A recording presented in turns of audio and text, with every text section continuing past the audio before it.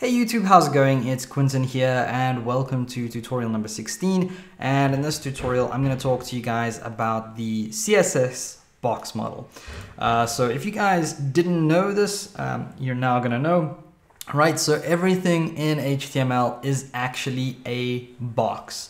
Uh, if I take a look at this code in my browser, uh, by the way, I've got the same paragraph as the previous tutorial. I've also got the same CSS as the previous tutorial. Uh, and if I take a look at this in the browser, at normal size, it should look something like this. Uh, but I just want to zoom in real quick and uh, let's talk about this element, right? So every single element, not only paragraphs, but every single element in HTML uh, can be seen as a box, right? And that means that our box can have something called a margin, which is spacing on uh, the outside of the box. Then we can also have a border, which would be the line where our box obviously begins. And then we have something called padding, which is on the inside of our box. Uh, the best way to actually see this visually is if you right click on the element and uh, if you're using default Firefox, you can inspect element. If you are using Chrome, uh, there should be a button called inspect. Uh, but I've got an add-on for my Firefox called Firebug. If you are not using it, you definitely should install it. It's really great. And I'm gonna say inspect element. Uh, and that opens up uh, an element inspector, right? But if I go to layout, uh, take a look at that. That is our box. And uh, the more you hover over certain places of this box, you can see it, it highlights those uh, in the background. So we've got something called a margin, which like I said, is spacing on the outside of our box. Uh, and in fact, this might be easier to see if I go all the way back to 100%. Um, so we've got spacing on the outside of the box. Then we've got uh, padding, which is spacing on the inside of the box. Right now that's set to zero. And we've also got uh, a border, which right now is also set to zero. So you can't uh, actually see that. Um, but uh, as you add these attributes in or these values in, you will actually be able to see them, right? So let me jump back over to my CSS file and instead of just trying to show you guys in the browser what they look like, let's actually make a visual change that you can see. So like I said, we've got something called a border. Now border has uh, very many properties that you can alter. You can alter the border left, the border right, the width of the border, all these kinds of things. Um, but to quickly show you guys something, I'm going to just use the border shortcut or the border shorthand property, which uh, we did speak about uh, shorthand properties in the past. And uh, border, the shorthand property requires uh, three values. Well, it doesn't, it doesn't require all of them, but uh, I'm going to use three values. And the first one is the width of the border. So I'm going to say four pixels, and that is just how big our border actually is. Then the next one is the border type. So I'm gonna set this to solid, but you could also use dotted, dashed, um, and there are a bunch of other values. Uh, so um, just go ahead and Google what all the values are. You will find a website that uh, will give you all the values, uh, but I'm gonna use solid. And then for the last value, I'm gonna pick a color. So if you don't put the color in here, by default, it will choose the same color as uh, the text that's inside the box. So because our text is uh, that slight red color, uh, if I don't place in a color, it will just by default use that red as you can see. So now we've got a paragraph with a border around it. And um, I'm going to maybe just change the color here to green so that it's uh, a little bit more visible. And then because uh, I told you guys there's a lot of values here, let's use dashed instead of uh, solid and take a look at uh, what that looks like.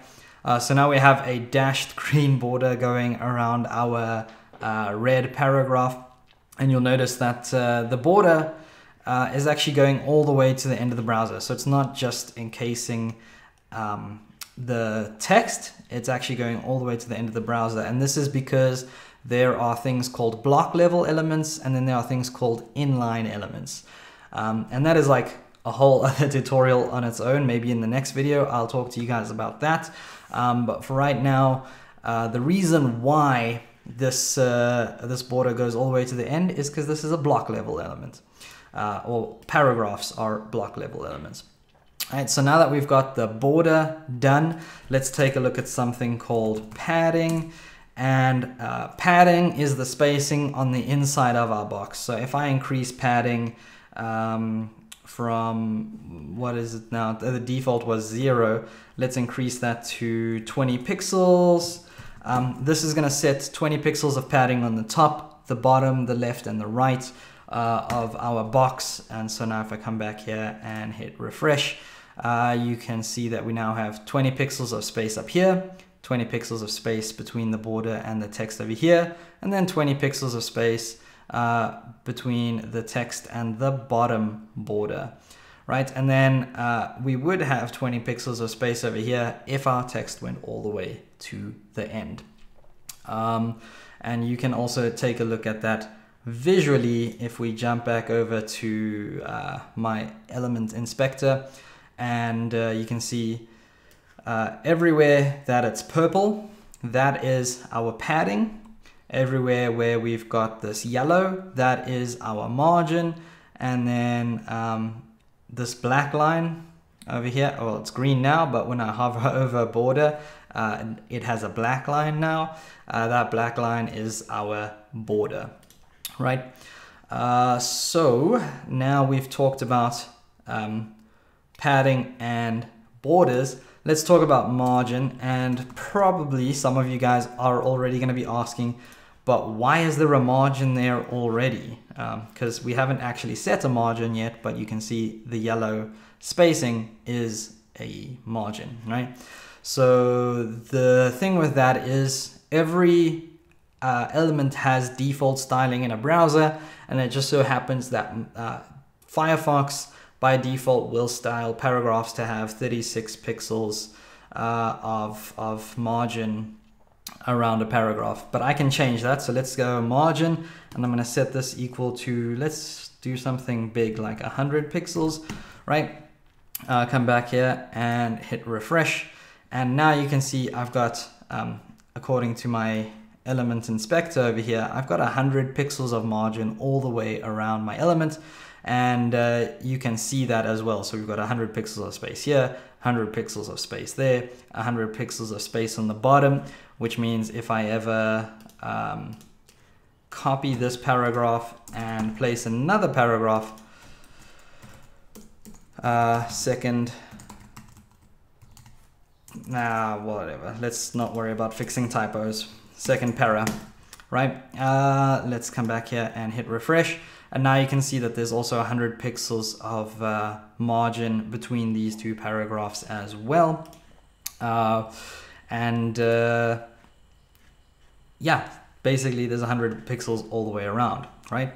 Now, uh, some of you guys might also be asking, okay, well, what the heck, uh, if I come back here, what the heck, um, shouldn't there be 100 pixels of spacing on the bottom of this paragraph and then 100 pixels of spacing on the bottom of uh, the second paragraph? meaning that this space should be a lot bigger. It should be double the size it is now. Uh, and that uh, the reason why that doesn't happen is because there's something called margin collapse um, or collapsed margins. So margin, uh, well, uh, I don't think that's an attribute we can alter, uh, but basically what happens here is elements collapse margins so that you don't whenever you put in a value, it creates the, the same uh, the same margin all the way around instead of uh, doubling the space. If that's, yeah, I hope that makes sense.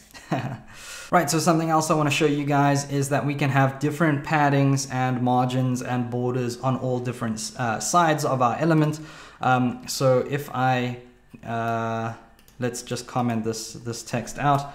So if I comment all of that out, and uh, we style our element again, I can have a border on the top of our element and that can be solid uh, or 4 pixels uh, solid black.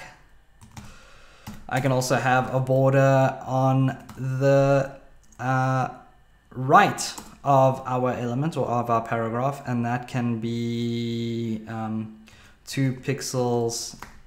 Uh, I think there's a, a, value called outset for borders as well. There's inset and outset, and I'm going to set that equal to red. Uh, we can also have border bottom, border left. Um, so go ahead and play around with that if you like.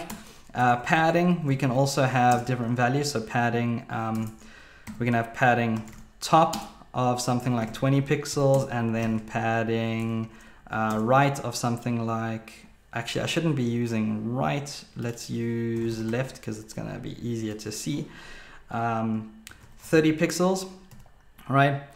Uh, let's actually make that a little bit bigger. 50 pixels and then margin as well. We can have margin uh, top of something like um, 30 pixels and then a margin uh, right of something like, well, let's use left again, sorry. A margin left of something like 80 pixels, right? Um, and then that will allow us to have different sizes on, on each uh, side, right? So um, looking at this again, I've got a four pixel border on the top that is black. I've got a, what is that? Two pixel border on the right that is red and it is very hard to see unless I zoom in. Uh, you'll be able to see that. Right, then we've also got uh, 20 pixels of padding on the top. We've got uh, 50 pixels of padding on the left. Um, we've got uh, margins, uh, 30 pixels and 80 pixels. So the margin has 30 pixels of space on the top and then 80 pixels of space on, on the left. Uh, so you can go ahead and play around with these values. There are also shortcuts to this as well. Uh, so I showed you the, the border shortcut, which was that. Uh, but then we've also got uh, padding shortcuts, which um, instead of going padding left, padding top, padding right, padding bottom, you can just type in padding as a shortcut and then give this values top, uh, it would be top, right, bottom, left. So always remember when using shortcuts um, that it would be top, right, bottom, and left. And I'm going to give this padding of uh, 40 pixels on the top, 100 pixels on the right, um, 60 pixels on the bottom, and 200 pixels on, uh, on the left, right? And uh, by the way, margin would work exactly the same way. So if I change this to margin, uh, we could change the values as well. Uh, but let's come back here and hit refresh. And now you can see we've got these uh, paragraphs pretty much in the middle of nowhere. Um, it would be a lot easier to see visually if I had a border. But uh, you can also take a look at this in the element inspector. And I've got uh, 40 pixels on the top margin, 200 pixels on the left, 100 pixels on the right, and 60 pixels on the bottom, which is exactly what I put over here, right? And the same thing, oh, that was margin. Uh, and the same thing for padding, 40 pixels on the top, uh, 200 pixels on the left, 100 pixels on the right, and 60 pixels on the bottom. Um, if you just hover over this, you'll be able to see that right? So that is all I have for you guys in this video. I hope the box model is now clearly explained and you guys know how to use the shortcuts and I'll see you guys in the next video. I just want to send a shout out to my sponsors at Dev Mountain. They run a coding bootcamp with courses on iOS development, UX design, and web development, and they can teach you everything you need to know to get a job within this field, and they'll do it within 12 weeks which I think is a rather impressive timeline. So go ahead and check out their website. The link is in the video description. And if you do contact them, make sure to tell them that I sent you.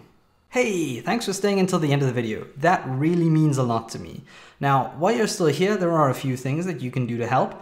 First of all, if you haven't already, subscribe and watch another one of my videos. And if you want to help me make more content more often, or if you feel that my content is just worth paying a little bit of money towards, you can check me out on Patreon. You can also check me out on social media. I will leave the links next to me. So go ahead and click on something, and I'll see you guys next time.